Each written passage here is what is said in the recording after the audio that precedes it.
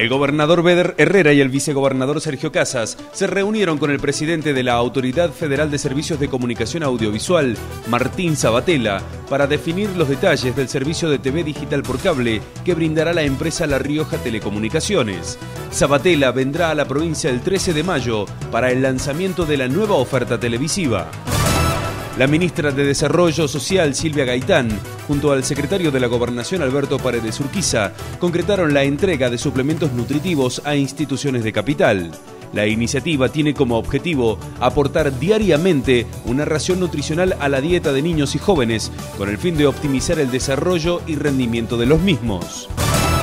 Con el objetivo de supervisar el inicio de los trabajos, la diputada Florencia López recorrió la obra de reconstrucción de la toma de Tuscamayo en Bañado de los Pantanos, fundamental para el desarrollo productivo de Arauco. Esta obra permitirá encauzar el río y dar salida a los canales de riego, potenciando las posibilidades de desarrollo agrícola.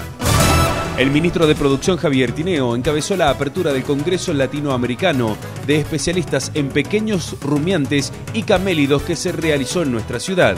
Con más de 400 inscriptos, productores, especialistas, estudiantes y autoridades debatieron las propuestas que esta cadena de producción tiene en la región, el país y el continente.